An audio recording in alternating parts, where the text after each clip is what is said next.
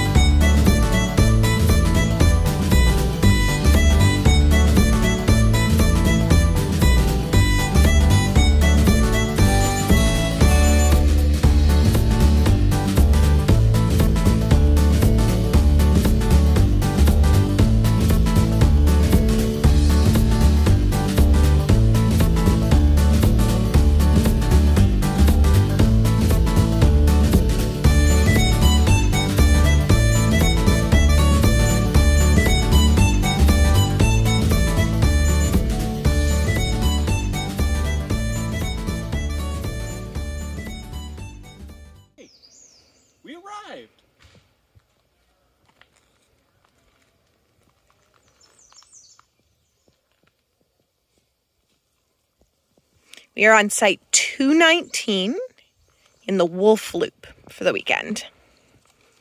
And it looks like a nice one. Well, we're in the process of getting set up. Obviously, we haven't set up our tent yet. But we did set up the pens for the dogs. Now, we ran into a bit of a. I'm not going to call it a problem. Uh, let's call it a hurdle when we started getting set up. You see, we have this nice rock here, which is great. It blocks the road behind it so that the dogs can't see it. But as we've discussed before, Lucifer is slightly reactive. In particular, he's reactive to visual stimuli. So he can hear a dog walking past, but if he can see it, we run into a problem. And we realize that there is a dog directly across the road on the other side. This meant we needed to get a little creative. By hanging a rope up, we were able to create a wall here of tarps. They're pegged down at the bottom and they're zip tied together to make sure that they won't move in the wind. And it's created the perfect barrier here so that little man isn't going to get triggered and he can also relax and enjoy our trip. And as pet friendly travelers, like we want to make sure not only do we enjoy camping, but that they're going to enjoy their trip too. So this is the best situation for everybody involved. And shout out to Kuma. As you see, the pens here are connecting on each side of the entrance to our Kuma Bear Den gazebo. And their optional privacy panels create that added privacy here for little man. So we have a space that we can hang out in the shade. The pens extend out and allow us to all sit around the fire together.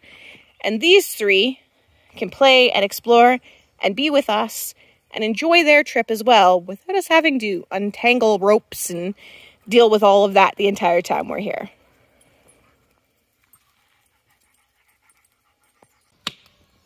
All right, checking on dinner.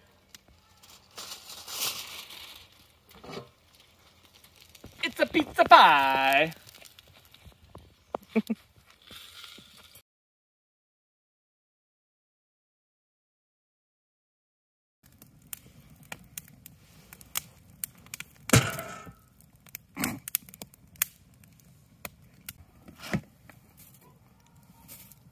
A witch.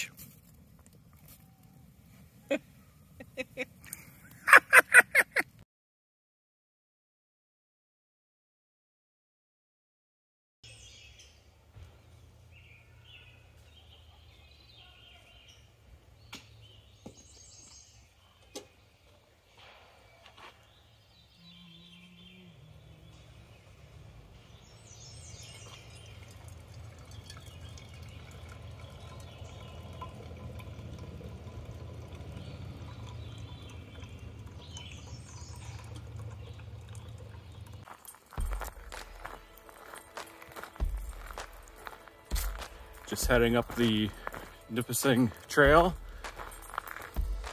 with Mr. Indy. We're at Awenda Park, so first time hitting this trail here.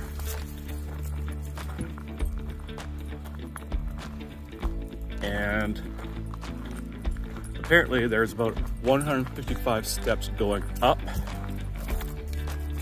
Indy's 11 years old, so it's going to be a little bit of a challenge. Well, for both of us, but probably more for him. And then we're going to head back down. So that's where I parked.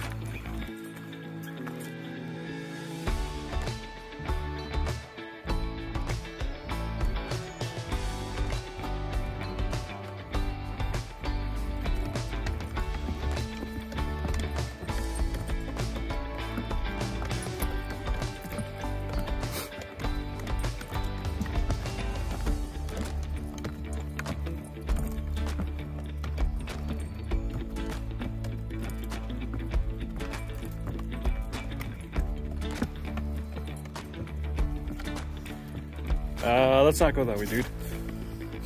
Good boy. Man, I'm out of shape.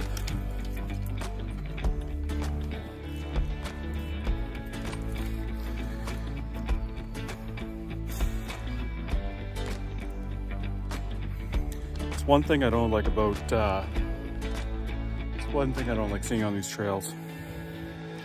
I'll be picking that up on the way back.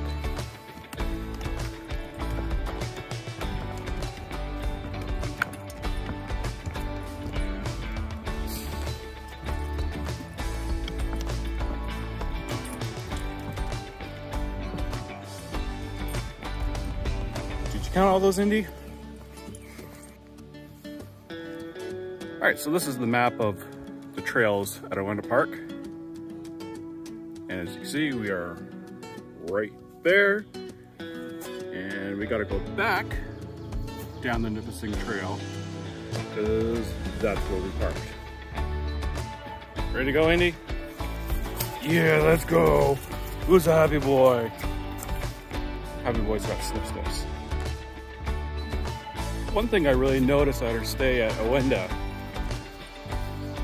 is that there's trilliums all over the place. Not just this trail, but on our campground, there's quite a few and everywhere else. Um, for many that don't know, the trillium is Ontario's provincial flower.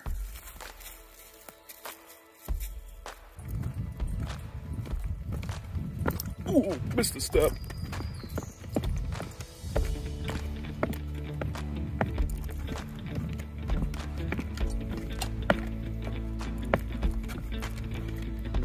Filming and going down these stairs is quite fun.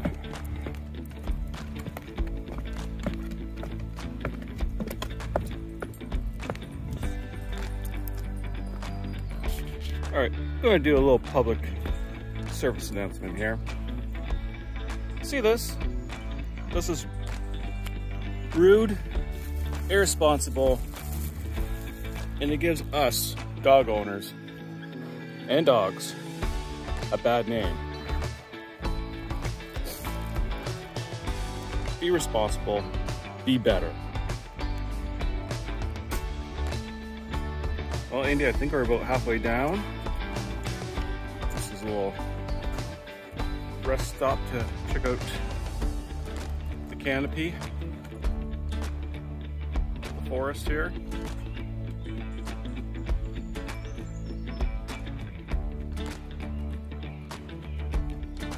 We're just finishing up Nipissing Trail.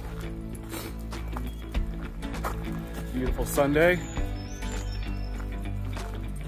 Took the extra day, so it's gonna be less people and whatnot. Did not see a single person on this trail. I don't know if that has anything to do with the 155 steps, but if I can do it and Indy can do it, you can do it.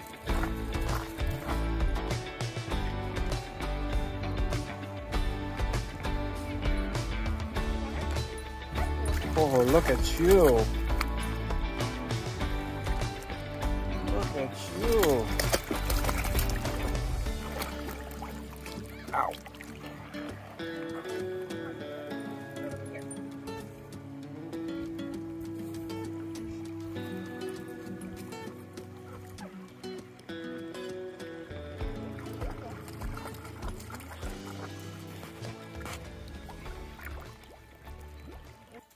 Okay, so as you guys can see, we're still at Awenda. Today is actually pack up day. We're getting ready to go home, unfortunately.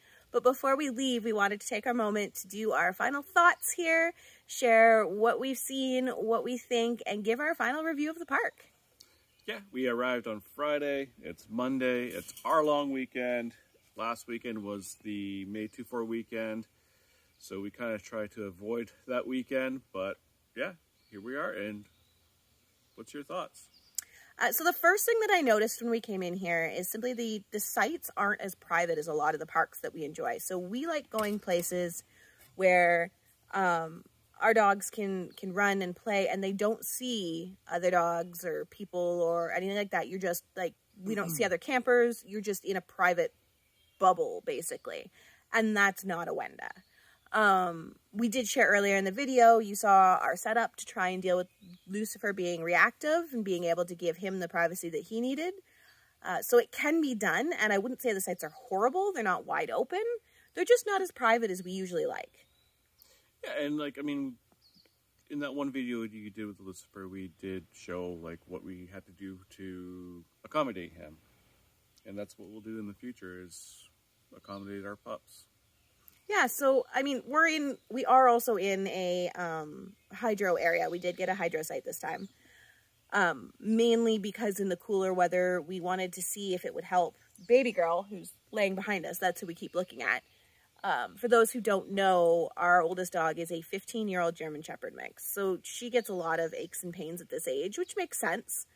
Um, but we brought along her like plug-in heated dog bed for at night to see if that would help make things easier for her because she still wants to run and play and hike and swim and everything else. So we paid the extra just so she could have a heated bed. Yeah, it's like she finds an extra gear at camp, mm-hmm. which we love. For sure. Now, speaking of hiking, you and Indy decided to kick things off with your own hiking adventure. Yeah, as you can see in the video that we went on the Nipissing Trail, um, that's one of Seven. seven trails at uh, at this park, and it's the Beaver Dam that does not, or Beaver Bond, Pond. I'm sorry, Beaver Pond that does not allow dogs on it. That one alone is only 15 minutes, but uh, yeah, uh, we went along the trail along the beach there, um, and that was pretty nice for all of us. Um, Indy's still exhausted. Indy's still exhausted. uh, like I said in the Nipissing video or uh, portion there, that there's 155 steps. So, I mean, it's a lot for an 11 year old dog, but he bounded through it. and uh, yeah, and before or just after we pack up, I think we're gonna try to hit another trail here and tire the pups out. For a quiet drive home. Yes. And then the other thing you saw yesterday that we did was um, we actually went down and hit the beach. Now it is May. It is not warm beach weather per se, Not so much. but our sweet senior baby girl, she can literally see water on the horizon when we're driving and gets excited. So we couldn't come somewhere that had a dog beach and not take her to the dog beach. So we made the trip over. Um, you do have to drive. It's a little bit longer. Like if you have an older dog, it would have been a long walk for her. And then, you know, they wear themselves out swimming and having to walk back would have been too much. Um, there are four beaches. Uh, and between first beach and second beach, well, there's four human beaches. And between first beach and second beach is the dog beach.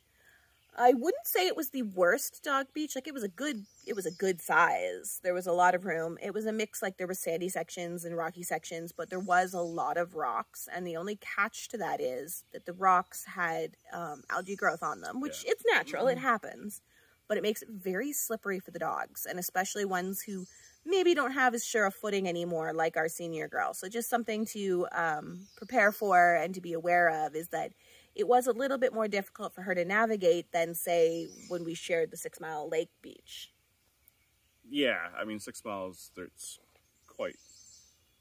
beautiful sandy Yeah, yeah. Yeah. It's it's it, it's probably up there for one of the best beaches for for dogs. yeah so i wouldn't say this was our like least favorite dog beach by far but it isn't our favorite either it was nice but there are some improvements we could have made Yeah, you you could definitely tell that like they geared that whole area there for for humans, which I mean that makes sense. yeah but i mean we talk about pet friendly travel so we want you guys to know the pet side of everything. Outside of that the park was very pet friendly um, the staff would smile and wave when they saw the dogs.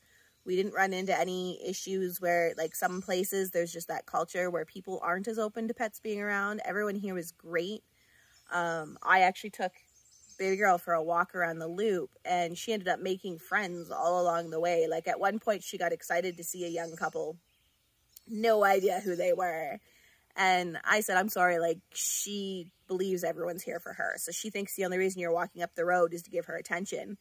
And without missing a beat, the couple was like, well, we can't disappoint her. So, like, everyone's super, super welcoming around here. Um, we had a couple staying next door to us. I don't know if they'll see this.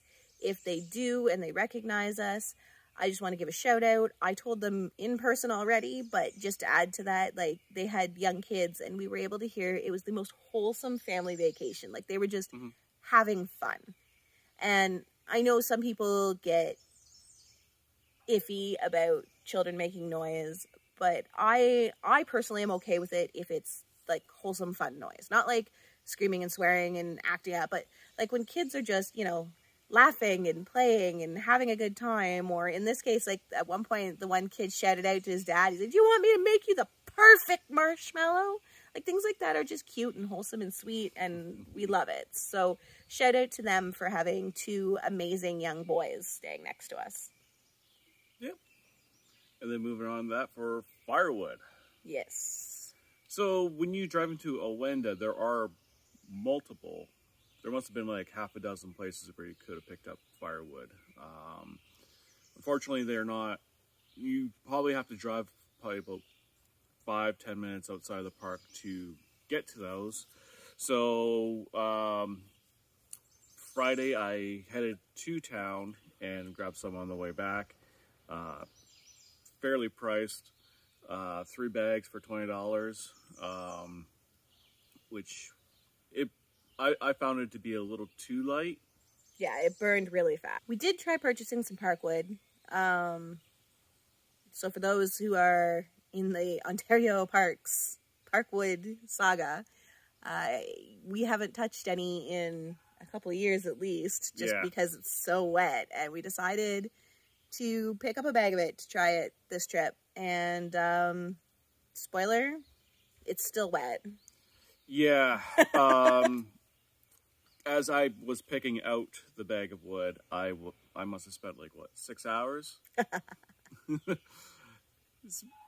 I, I spent a little bit of time trying to find the best bag that I could get, and it was not the best bag I could get. Um, even after, as soon as I made the first split with our, with the axe, I was just like, I'm going to get a workout trying to fan this thing going. So, Provincial Parkwood, avoid it if you can. Yeah. we're we're still on team buy your wood from someone local.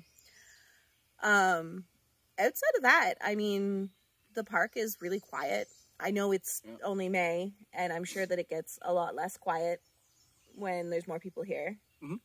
But it has been so relaxing and quiet here. Um, the bathrooms are clean. They are long drops that are near us. We're in the Wolf Loop, and the bathrooms near us are long drops. They don't smell right now bad, but I'm sure between the heat of the summer and the extra people that that could change.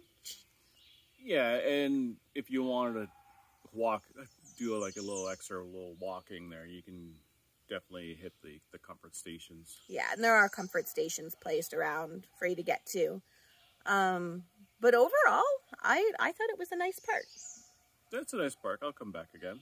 It's somewhere I could see us making part of our routine just for like our spring, you know, get out for a weekend type vacations, Yeah. especially with so many hiking trails. Yeah, It looks like it's snowing a little bit because of the pollen. Yes, my, That's- my allergies are well aware. yeah, that's it's it's the end of May, so the, the pollen is going quite well tonight today. oh, and one big perk for anybody who likes to camp at the end of May, because I know this is a question that comes up quite often. We didn't see black flies. Mosquitoes, yes, but no black flies. So this is a black fly safe zone at this time of year. Yeah, there are a few spicy sky raisins though. Bees. Bees. but yeah so i guess final rating. Um i wouldn't say it was a bad park. I wouldn't say it's the best park.